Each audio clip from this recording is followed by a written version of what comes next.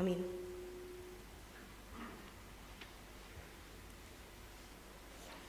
Pembacaan Yesaya pasal 45 ayat 20 sampai dengan ayat 25.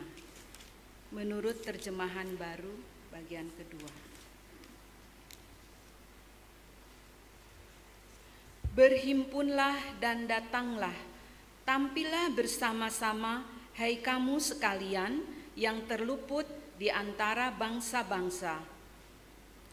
Tiada berpengetahuan orang-orang yang mengarak patung dari kayu.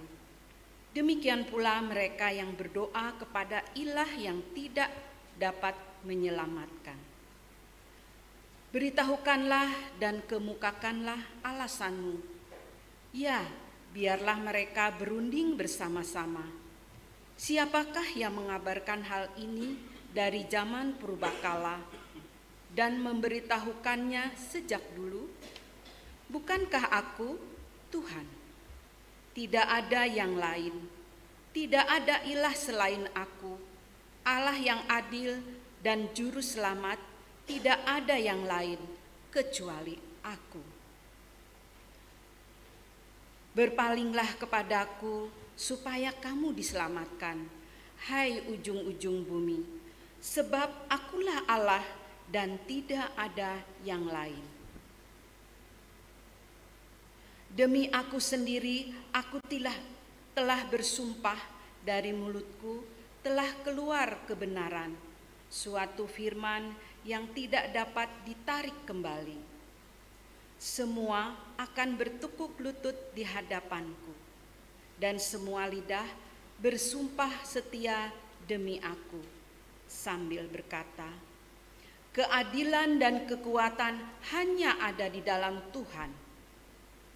Semua orang yang marah terhadap dia akan datang kepadanya dan mendapat malu. Tetapi seluruh keturunan Israel akan mendapat keadilan dan bermegah di dalam Tuhan. Demikianlah sabda Tuhan. Syukur kepada Allah.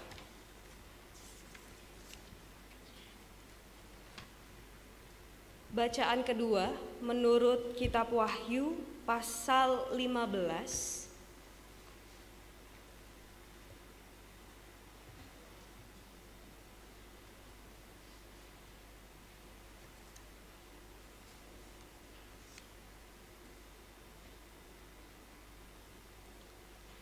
ayat 1 sampai 4.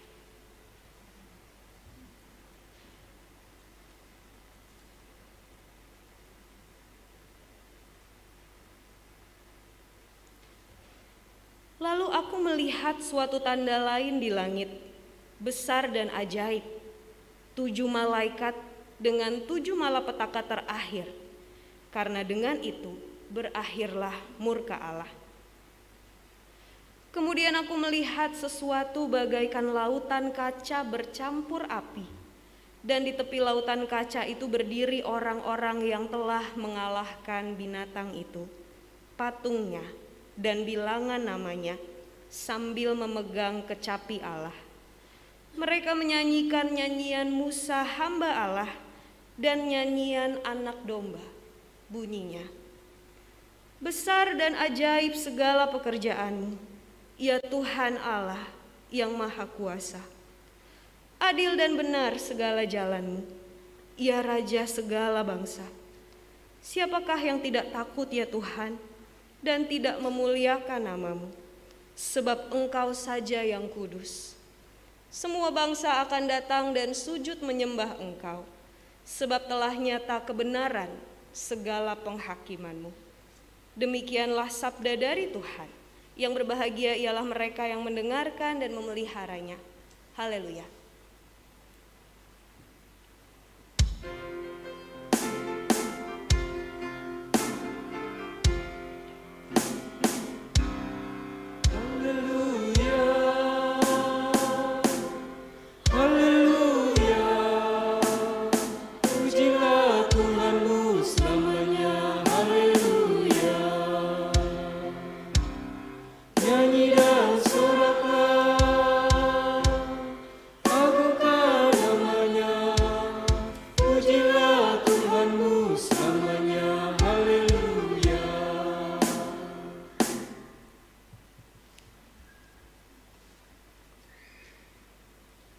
Merdeka. Semua orang harus merdeka. Bapak, Ibu, dan saudara-saudari setujukah dengan pernyataan ini? Yang setuju? Yang ngerasa kayaknya nggak semua orang deh.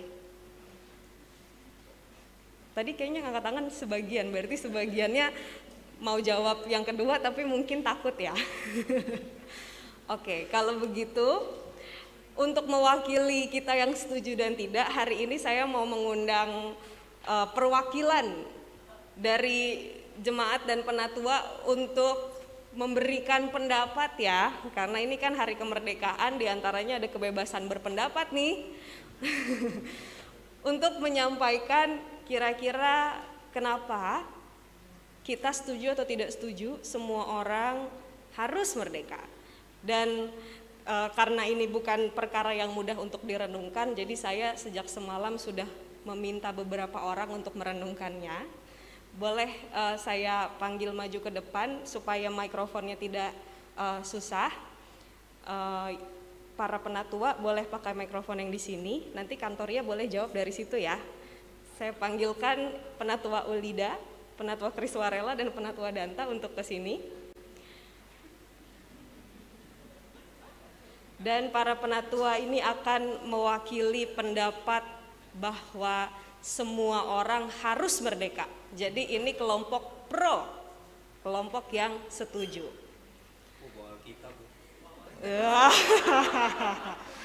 Para kantornya bawa kidung jemaat jangan mau kalah. Para kantornya akan mewakili pendapat uh, bahwa setiap orang tidak harus setiap orang merdeka berarti ya. Silahkan berdiri. Perlu waktu diskusi lagi kah? 30 detik ya. Oke, Bapak Ibu yang uh, ada di tempat duduk masing-masing juga boleh merenungkan apakah semua orang harus merdeka atau ada orang-orang yang tidak boleh atau tidak harus merdeka. Kantornya udah siap ya? Oke. Okay. Tadi kalau kita lihat yang angkat tangan, uh, lebih banyak yang mendukung semua orang harus merdeka ya. Kita lihat. Berarti kita boleh mulai dari yang lebih banyak pendukungnya dulu ya. Silahkan perwakilan siapa yang mau menjawab. Oh, silakan Pak. Satu argumen dulu aja nanti baru didebatin ya. Silakan Pak Warela. Ya, uh, semua orang harus merdeka karena kemerdekaan itu kan anugerah. Hmm, Merdeka itu kita, adalah anugerah. Kita lihat perjuangan bangsa kita kan mereka berjuang gitu kan, tapi kemerdekaan itu sebetulnya anugerah kita boleh berjuang tapi kemerdekaan itu sebetulnya anugerah dari Tuhan. Ada momen-momen yang kita misteri yang kita tidak tahu. Sebuah peristiwa panjang negara ini kita nggak tahu. Tapi tangan Tuhan pasti masuk di celah-celah itu. Oh. Orang itu harus merdeka karena kemerdekaan itu adalah anugerah Allah. Oke, terima kasih kelompok uh, pro ya. Tunggu dulu, tahan dulu kita dengar dari kelompok kontra. Berarti tadi kan uh, argumennya semua orang harus merdeka karena kemerdekaan itu adalah anugerah dari Tuhan. Silahkan kelompok kontra. Kalau menurut saya sih ya kurang setuju. Mm -hmm. Karena dalam undang-undang dasar itu bahwa kemerdekaan itu diberikan untuk hak segala bangsa, bukan hak ke setiap orang. Wow, udah pakai. Terus keduanya kalau semuanya, kalau nanti setiap orang uh, harus merdeka, nanti tidak ada kesenjangan pendeta. Oh, saya, saya lebih suka kesenjangan gitu. Ibaratnya kalau kita nih ya punya kuasa. Gitu. Oke. Okay, okay. Dan boleh dibantu yang lain kok, boleh, boleh, boleh. Aku udah nyiapin ya sih. udah geblek jadi ya. Oh, ya, lebihnya seperti itulah. Tertawa sebelum punchline ya. punchline-nya udah lupa jadinya. Oke, oke, oke.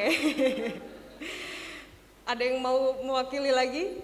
Jadi tadi argumennya kemerdekaan itu hak segala bangsa tapi tidak semua orang. Ya, bukan bukan hak semua orang. Oke. Karena di undang-undang memang udah ditulis itu hak segala bangsa. Oke, jadi ada orang-orang yang tidak harus merdeka. Iya dong. Oke. Boleh di boleh dikasih contoh siapa yang misalnya tidak harus merdeka supaya lebih spesifik ya? Waduh, ini agak berat sih. Pas briefingnya tuh gak ada contoh-contoh ini gitu kan. Tapi ada yang dipikirkan mungkin siapa yang nggak boleh merdeka? Kalau contoh spesifik ya, ya nggak bisa sih. Tapi bisa diambil dari lembaga Permasyarakatan. Oh iya, oke. Oh ini agak bahaya sih memang ya ya. Oke.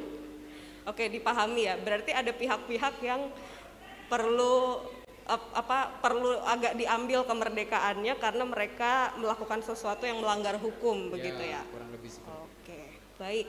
Sebelum para kantoria eh, mengalami kondisi yang tidak merdeka, kita lanjutkan dulu ke sini ya. Berarti di sini ada orang-orang yang tidak dapat merdeka, di antaranya adalah para pelanggar hukum. Gimana? Ada komentar lagi? Silahkan. Jadi yang disampaikan itu itu dampaknya sebetulnya. Kemerdekaan itu akhirnya memberi kebebasan bagi kita berperilaku sebebas-bebasnya gitu. Tidak memperhatikan sesamanya. Akhirnya timbul tadi ada satu ada satu cerita yang yang baik. Saudara-saudara lihat perilaku contoh aja perilaku korupsi ya, perilaku korupsi sampai detik ini itu gila-gilaan. Kalau lihat dari zaman tahun 50, 60 korupsinya tuh mungkin sedikit. Zaman Pak Harto ada korupsi masih terbatas. Tapi sekarang perilaku korupsinya itu terbuka gitu. Siapa aja bisa. Itu karena apa? Karena memperlakukan kemerdekaan tadi, kebebasan tadi. Tidak memikirkan sesamanya gitu ya. Jadi mereka kita merdeka tapi perilaku kita tidak menunjukkan sebagai orang yang merdeka yang saling membangun, saling berguna sesama masyarakat, memberi manfaat bagi kepentingan masyarakat. Tapi iya itu. Ini perilaku kita makin hari makin luar biasa seperti itu. Jadi sebetulnya yang tadi dampaknya itu ya tadi dampak ketidakadilan, saling semena-mena, orang yang punya kewenangan menindas yang tidak punya kewenangan, seperti itu. Oke. Tapi kemerdekaan harus dimiliki oleh kita semua bahwa kita ini merdeka.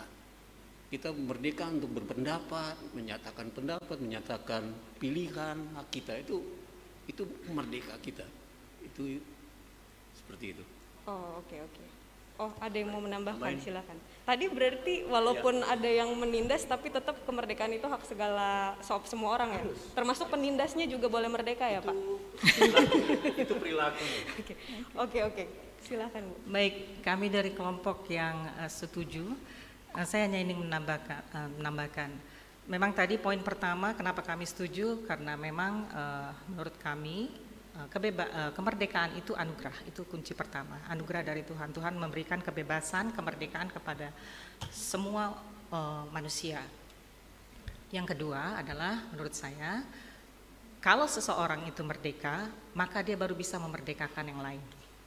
Tidak ada orang yang merdeka kalau dia tidak eh, tidak ada orang yang bisa memerdekakan yang lain kalau dia sendiri tidak merdeka.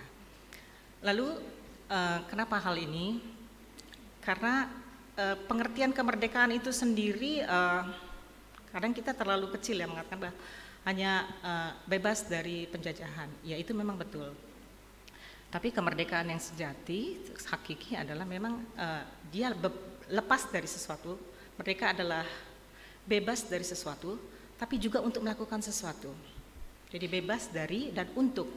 Dia merdeka untuk melakukan apa. Nah, sebagai seorang Kristen, ini makanya saya bawa Alkitab tadi Bu. Sebenarnya itu bukan karena ini grupnya penatua bukan seperti itu. Allah membebaskan kita juga pertama dari perbudakan dosa. seperti itu. Tetapi bukan berarti ketika kita sudah dibebaskan kita bebas melakukan dosa itu kembali, karena itu dibayar dengan harga yang mahal. Dan dengan kita dimerdekakan seperti itu kita bisa mewartakan kebaikan. Itulah kenapa kita dimerdekakan untuk mewartakan kemerdekaan itu juga seperti itu. Dan tadi uh, kalau uh, Mas Broto mengatakan bahwa bangsa itu bukan berarti uh, manusia orang itu saya pikir agak rancu karena saya pernah diajarkan begini oleh uh, uh, dosen saya urusan kita sebagai manusia itu hanya dua berbangsa dan bernegara urusan negara adalah pajak memajak urusan berbangsa adalah kawin mawin artinya yang disebut bangsa itu adalah manusia sesungguhnya seperti itu. Jadi itu dan tadi sudah terangkan itu adalah dampak. Jadi sebenarnya kita kalau kita sudah merasa merdeka terutama karena anugerah Tuhan itu, maka kita akan memerdekakan yang lain. Demikian Pendeta. Oke, terima kasih. Mungkin satu lagi dari Pak Danta ya, setelah ini saya kasih ke Kantoria supaya tiga-tiganya sudah berpendapat. Uh, menambahkan saja dari kelompok yang pro kemerdekaan. Jadi seperti yang tadi disampaikan Mas Broto bahwa uh, setiap uh, kemerdekaan adalah hak segala bangsa. Dan saya menambahkan apa yang menjadi catatan Benatua Ulida bahwa kita semua adalah manusia yang berbangsa dan memiliki hak untuk merdeka dalam berpikir dan memiliki hak yang merdeka di dalam hati nurani. Artinya kemerdekaan kita sebagai manusia mewakili dua hal itu yaitu ke kemerdekaan di dalam berpikir dan kemerdekaan kita di dalam hati nurani kita. Terima kasih. Oke, aja. Oke terima kasih Pak Danta. Um, sebelum itu kita kasih ke ke yang kontra dulu ya. Tadi argumennya kalau saya uh, ulang kembali berarti untuk bisa memerdekakan orang kan kita harus merdeka dulu. Pada akhirnya itu menjadi hak dan kemudian um, setiap orang pada dasarnya membentuk bangsa sehingga kemerdekaan itu harus jadi bagiannya semua orang, di antaranya kemerdekaan untuk berpikir dan uh, bertindak sesuai dengan hati nurani begitu ya Pak. Silahkan.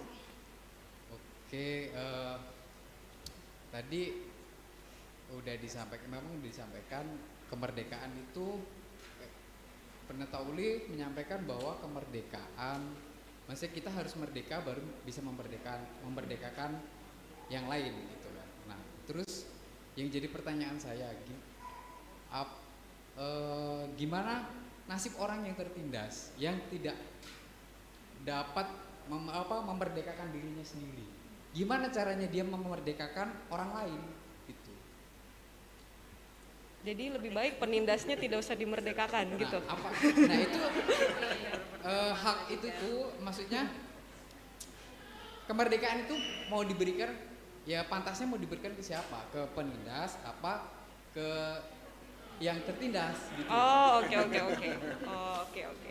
Jadi Mungkin tetap ada tambahan dari Ruth. Oh silakan. Habis ini Oi ya. Jadi Ruth dan Oi ya. juga ikut berpendapat. Ya betul dari Mas Boto. Oli Oli Oli. Aku nambahin sedikit lurusin dan dalam suatu hal kita akan menuju ke kebebasan atau kemerdekaan itu, pasti kita akan uh, ada dua belah pihak. Contohnya negara Indonesia dengan negara Belanda. Nah, dalam satu hal itu pasti ada pihak yang merasa dirugikan atau ditindas dalam mencapai kemerdekaan itu. Okay. Seperti penjajahan, itu kan dua belah pihak yang bersatu. Pasti salah satunya ada yang menang dan satunya tidak. Nah, di situ yang akan dirugikan, semakin dirugikan dan akan semakin tertindas. Makanya negara yang memerdekakan itu, merdeka itu. Nah, itu tambahan oh. dari Mas Broto. Oh, oke okay, oke. Okay. Jadi bagaimanapun kalau ada dua belah pihak yang berseteru pasti ada yang menang atau kalah gitu. Sementara yang kalah itu akan selalu merasa dirugikan dan tertindas ya. Terlebih biasanya narasi itu di ini saya nambahin jadinya apa ya narasi uh, tentang suatu peristiwa itu biasanya ditulis oleh si pemenang sehingga suara korban itu biasanya tidak terdengar. Oke. Okay. Oi. Oh ikut aja. Kamu merdeka loh Oi untuk berpendapat. Jangan Oinya nggak merdeka nih.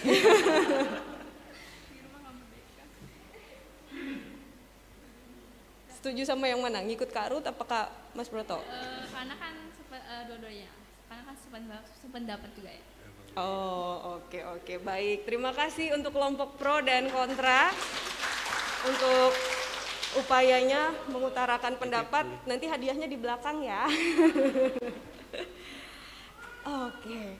Hari ini kita bicara tentang pola hidup yang memerdekakan Bapak Ibu dan tadi uh, betul ya kita melihat bahwa kemerdekaan itu sesuatu yang memang ini uh, hak segala bangsa tapi juga sangat subjektif gitu dalam pengalaman. Kalau kemarin malam saya sempat uh, isengin penatua Danta gitu ya, saya tanya Pak Danta kalau tiba-tiba Mateo bilang Bapak saya mau merdeka gitu, ke Bulia juga Ibu saya mau merdeka, dikasih nggak tuh? Dan dari sini uh, kita melihat realita kemerdekaan bahwa ternyata kalau tadi um, kemerdekaan itu dilihat sebagai hak uh, bagi segala bangsa, bangsa itu juga ternyata di dalamnya ada manusia, tapi nyatanya memang ada orang-orang yang tidak merdeka karena mereka yang sudah merdeka tidak memerdekakan yang lain. Sementara kalau kita bicara tentang kehidupan, tidak ada orang yang merasa tertindas itu yang bisa hidup bahagia. Betul ya? Sehingga kalau kita mau hidup untuk men mensejahterakan orang lain, untuk mengupayakan orang lain juga bisa punya kebahagiaan, ya memang salah satu syarat yang harus dipenuhi adalah orang itu harus merdeka. Terlebih kalau kata Mahatma Gandhi, definisi kebahagiaan itu kan uh, terjadi ketika apa yang kita pikirkan, apa yang kita katakan, apa yang kita lakukan itu ada dalam harmoni. Artinya kita bebas berpikir, berkata dan bertindak sesuai dengan hati nurani kita. Itu baru orang bisa bahagia. Kalau ada orang yang dipaksa untuk mengatakan atau bertindak tidak sesuai dengan hati nuraninya, bisa nggak dia bahagia? Contoh sederhananya, di sini Bapak Ibu pasti per, pasti uh, yang sama pasangannya gitu, yang punya pasangan entah itu sudah menikah atau masih pacaran, itu menjalin hubungan kan karena cinta ya? Setuju tidak? Kalau misalnya suatu saat wah kalau nggak karena cinta nanti pastoral ya abis ini ya. Kalau misalnya suatu saat bapak ibu diminta untuk mengatakan kepada orang-orang yang bapak ibu cintai saya tidak mencintai kamu bisa tidur nggak karena setiap kita akan bahagia, akan hidup tenang, damai sejahtera ketika apa yang ada di hati kita itu bisa kita sampaikan, apa yang ada di pikiran kita itu bisa kita lakukan tanpa intervensi atau pengaruh yang membelenggu dari pihak-pihak yang ada di luar kita. Sehingga tidak mungkin seseorang bisa bahagia kalau dia tidak merdeka. Dan di lain sisi kita juga melihat bahwa misalnya kalau soal anak-anak tadi ya itu mereka ada di bawah pengawasan orang tua misalnya itu bukan untuk menjajah tapi untuk menyiapkan mereka untuk hidup secara merdeka di kemudian hari gitu kan. Maksudnya segala sesuatu yang kita lakukan untuk orang-orang yang ada di sekitar kita yang menurut kita belum layak untuk merdeka itu kan sesungguhnya untuk memerdekakan mereka supaya mereka bisa bahagia dan mereka bisa hidup dengan sesuai dengan apa yang sebenarnya mereka inginkan sesuai dengan hati nurani kita. Sayangnya benar bahwa tidak semua orang yang merdeka itu memerdekakan yang lain. Minggu lalu di kelas katekisasi ada orangnya kebetulan Juan. Uh, di kelas katekisasi kami uh, belajar tentang persembahan dan menyanyikan lagu tabuh gendang. Kidung Jemaat 292. Nyanyian ini ditulis dan di, uh, dibuat instrumennya begitu ya, digubah oleh seorang Belanda namanya Adrian Valerius. Dan si orang Belanda ini menulis lagu Tabuh Gendang dalam perjuangannya untuk mencapai reformasi atau kemerdekaan Belanda dari Spanyol. Jadi pada tahun sekitar 1626 lagu ini dibuat juga dalam semangat untuk memperjuangkan hal itu. Makanya lagu ini agak lucu. Walaupun ini lagu persembahan, tapi di bait ketiga ngomongin soal pembebasan. Israel pun atas berkatnya riang gembira bermasmur. Itu menyanyikan pembebasan yang menurut mereka harusnya ada dari Tuhan. Tapi kemudian Juan bilang, Kak berarti mereka berjuang untuk kemerdekaan, tapi habis itu mereka menjajah orang lain lagi dong. Dan itu yang terjadi. Setelah itu mereka memperluas invasinya ke daerah-daerah Asia Tenggara dan menjajah negara-negara yang awalnya jadi rekan dagangnya mereka. Artinya apa? Dalam sejarah pun kita melihat bagaimana orang yang merdeka justru menggunakan kemerdekaannya untuk menjajah yang lain. Namun hari ini kita belajar dari firman Tuhan yang menguatkan kita untuk tetap menggunakan kemerdekaan kita untuk memerdekakan yang lain. Hari ini kita membaca kitab Yesaya yang bercerita tentang bagaimana para orang-orang Israel yang dibuang ke Babilonia itu kembali punya pengharapan untuk kembali dari pembuangan Apakah mereka sudah sampai, sudah OTW atau belum? Itu dijelaskannya di kitab lain. Mungkin Bapak Ibu pernah baca Ezra dan Nehemia juga ya. Di situlah cerita tentang kembalinya mereka. Tapi Yesaya ini bicara soal pengharapan akan kembalinya mereka. Dan di dalam Yesaya ditegaskan sekali lagi bahwa Allah yang mereka sembah itu akan menyelamatkan mereka dari pembuangan. Pada saat itu memang situasinya tidak mudah, karena mereka berhadapan dengan orang Babilonia yang menyembah dewa lain. Dewanya namanya Marduk. Mungkin Bapak Ibu pernah searching di Google juga. Dewa Marduk ini berbeda dengan Yahweh yang menjadi sesembahannya Israel. Dewa Marduk itu dikenal sebagai dewa yang suka menaklukkan. Jadi awalnya orang Babilonia itu punya banyak dewa. Lalu di dalam kisah itu Marduk itu dewa yang mengalahkan dewa-dewa lain sehingga uh, Marduk itu jadi dewa satu-satunya yang berkuasa. Dan dari serpihan-serpihan tubuh dewa yang dikalahkan, Marduk membangun alam semesta. Jadi bayangin ya, Marduk ini men menciptakan alam semesta dari tubuh korban yang dikalahkan. Menurut versinya orang Babilonia. Di lain sisi, Allahnya orang Yahudi ini adalah Allah yang memerdekakan mereka. Allah yang mengeluarkan mereka dari Mesir. Allah yang menuntun mereka ke tanah perjanjian. Allah yang membuatkan hukum agar mereka dapat berlaku adil bagi satu sama lain sehingga kata kebenaran dalam bahasa Ibrani itu terjemahannya keadilan. Jadi apa yang benar buat Allah itu adalah ketika semua orang mendapatkan apa yang adil. Dan dari kacamata itu mereka melihat Allah sebagai Allah yang memerdekakan sehingga mereka pun berdosa ketika mereka tidak memerdekakan yang lain. Dan kalau mereka tertindas, mereka pun percaya bahwa Allah mereka akan memerdekakan mereka. Itulah yang dibaca di Yesaya. Makanya Allah seperti mengkoreksi mereka yang sudah mulai ikut-ikutan menyembah dewa-dewa orang Babilonia yang dibuat dari kayu patung-patungnya dan mengembalikan mereka kepada Allah. Kenapa? Karena hanya Allah yang sungguh-sungguh mengasihi mereka dengan cinta yang memerdekakan. Dan dengan semangat itu mereka kembali ke tanah perjanjian karena Allah pun pada akhirnya mengutus Raja Kores ya untuk bisa mengembalikan mereka. Artinya Allah yang disembah oleh bangsa Israel dan diwariskan kepada orang-orang Kristen sampai kepada kita hari ini adalah Allah yang memerdekakan mereka yang tertindas. Oleh karena itu sesungguhnya ketika kita menindas orang lain, kita melawan Allah. Kemudian di dalam kitab Wahyu.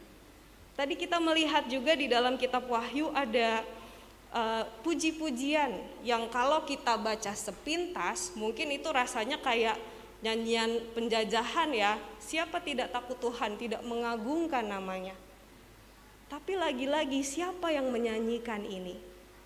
Mereka yang menyanyikan ini adalah orang-orang yang baru saja menang atas binatang kalau di sini yang disebut ya binatang yang mengerikan yang merusak kehidupan banyak orang pada masa itu kitab Wahyu kan ditulis dengan simbol-simbol. Dan binatangnya itu yang disebut oleh kitab Wahyu yang seperti apa sih? Kita bisa lihat di pasal-pasal sebelumnya. Ini adalah binatang yang katanya keluar dari laut dan dari bumi, yang kemudian membuat semua orang takut dan menyembah binatang ini karena dia bisa melakukan kekejaman yang luar biasa. Berarti binatang itu adalah penindasnya. Dan mereka yang menang atas binatang itu, mereka memuliakan Allah. Dari sini kita belajar bahwa kalau kita mau orang-orang memuliakan Allah, yang kita lawan itu bukan sesama kita, bukan saudara kita, bukan mereka yang sama-sama tertindas. Yang kita lawan itu adalah monster yang menindas kita. Dan monster yang menindas kita dan orang-orang di sekitar kita hari ini wujudnya macam-macam, banyak sekali. Ada ketidakpedulian, ada kalau dibilang kebodohan ngeri juga ya, kesulitan untuk berliterasi, ada kebencian, ada eksklusivitas, diskriminasi, keserakahan, macam-macam. Itulah yang harus kita berantas sama-sama supaya orang-orang memuliakan Allah. Dan itulah cara kita untuk bisa memperjuangkan kemerdekaan. Jadi bagaimana kita bisa memulai pola hidup yang memerdekakan? Kalau dari firman Tuhan tadi, dari Wahyu dan Yesaya kita bisa belajar beberapa hal. Yang pertama, hindarilah meneruskan narasi kebencian pada sesama. Karena bukan sesama yang kita lawan, tetapi monster-monster yang membelenggu kehidupan kita yang membuat kita jadi sulit untuk memuliakan Allah. Saya tadi baca juga tentang uh, kisahnya kerusuhan Ambon yang terjadi tahun 1999 ya. Kerusuhan itu terjadi juga atas nama agama, Bapak Ibu.